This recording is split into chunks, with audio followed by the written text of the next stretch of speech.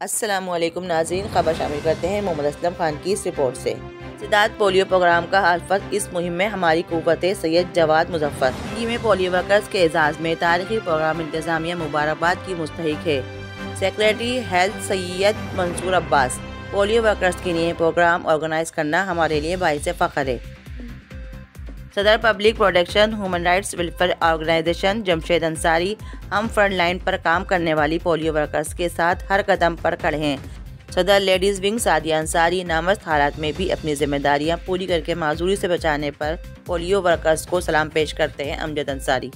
कराची ज़िला कोरंगी में इंसदाद पोलियो मुहिम D E O C deputy commissioner Korangi और public protection human rights welfare organisation की मुश्तर प्लेटफॉर्म से कोरंगी वर्कर्स के नाम का इनका किया गया। के मेहमान खसूस secretary, health doctor Syed Mansoor Abbas थे, जबकि सतारा डिप्टी कमिश्नर जिला कोरंगी सैयद जवाद मुजफ्फर ने, जबकि प्रोग्राम में तीन हज़ार से पोलियो वर्कर्स ने शिरकत की। प्रोग्राम में Korangi association of trade industry के ताउन से पोलियो वर्कर्स में गिफ्ट, हेम्पर्स तकसीम किए गए।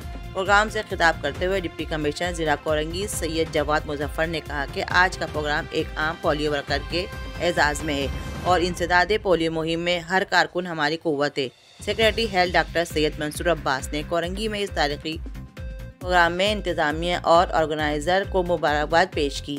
इस मौके पर organiser, public protection and human rights welfare organisation के सदर शेद अंसारी ने कहा कि पोलियो वर्कर्स के लिए प्रोग्राम ऑर्गेनाइज करना हमारे लिए बड़ा एजाज़ है और वर्कर्स को खराज तहसीन पेश किया।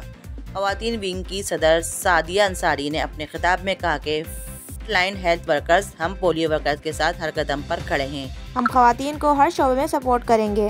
सेक्रेटरी कोऑर्डिनेशन अमजद अंसारी ने कहा कि नामजद हालात में अपनी जिम्मेदारियाँ बजा लाने पर हम पोलियो वर्कर को सलाम कीदत पेश करते हैं। प्रोग्राम में शुरा के लिए family fun gala live concert और कॉमेडी शो का इंतज़ाम किया गया। प्रोग्राम में काटी के सदर फराजुर रहमान काटी के मेम्बरान चेयरमैन टाउन अब्दुल जमील मारूफ समाजी पाकिस्तानी तो उनकी वालिदा या उनकी बहन वो मेरी आवाज़ सुन रही हो यकीनी तौर पर इतने बड़े साउंड स्पीकर लगाए माशाल्लाह वो आप तक पहुँच रही होगी। तो जरा बच्चों पे भी ध्यान दे दें आप सेहत और अच्छा जी ह्यूमन राइट्स म्यूज़िक की तरफ़ आ जाते हैं। अवार्ड बरए हुसन कारकर्दगी से भी नवाजेगी पोलियो वर्कर ने डिप्टी कमिश्नर जिला कोरंगी सैयद जवाद मुजफ्फर डी के डॉक्टर कलीम और public protection and human welfare organisation को इतने बेहतरीन प्रोग्राम के इनका का शुक्रिया अदा किया। मजीद खबरों और अपडेट्स के लिए देखते रहिए अर्ज़ पाकिस्तान न्यूज़ कराची।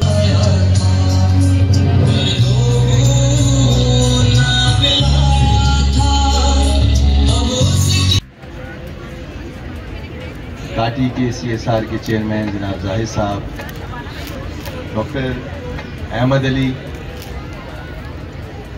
डिस्ट्रिक्ट की तमाम टीम हमारे डिस्ट्रिक्ट हेल्थ ऑफिसर्स और उसकी तमाम टीम और खसूस जैसा कि डिप्टी कमिश्नर साहब ने कहा कि हमारी अपनी टीम यानी तमाम पोलियो वर्कर्स अस्सलाम वालेकुम वरहमतुल्लाह मैं जब यहाँ आया तो आने से पहले मेरे जहन में कतन नहीं था कि डिप्टी कमिश्नर साहब, उनकी टीम और यहाँ पे जो डिस्ट्रिक्ट हेल्थ के लोग हैं और जो काटी के लोग हैं, उन्होंने कोई इतना अच्छा माशाल्लाह से बंदोबस्त किया हुआ है। और आप लोगों के खुशी से भरपूर चेहरे देखकर इस कदर खुशी हो रही है, लग रहा है कि जैसे आज ईद का समय है और सब लोग मौजूद हैं, तमाम लोग एक ख़ानदान की तरह से मिले हुए हैं। मुझे यकीन है कि इससे पहले ये तमाम पोलियो वर्कर्स एक जगह इकट्ठा नहीं हुए होंगे।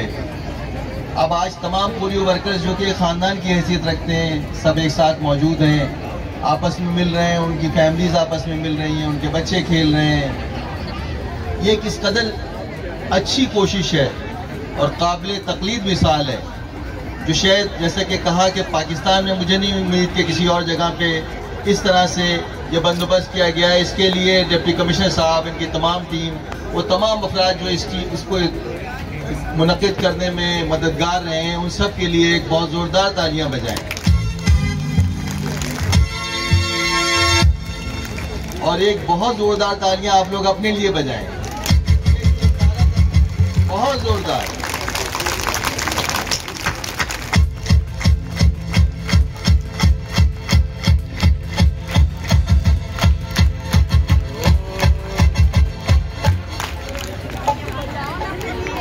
देखिए, ये एक ऐसा मर्ज है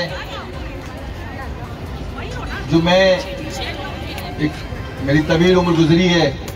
मैंने अपने बचपने में, मैं अभी डिप्टी कमिश्नर साहब से ज़िक्र कर रहा था कि पोलियो के केसेस बड़ी कसरत के साथ इलाकों में नज़र आते थे। मैंने उन माँ बाप को भी देखा है, जो बहुत साहिब हैसियत होते थे और वो अपने बच्चों को किस तरह से जो है वो अपने बच्चों का सहारा बने होते थे। और उसके अलावा ये बगैर किसी तबके के ये जो बीमारी है, ये लोगों को मुतासर करती है। इसकी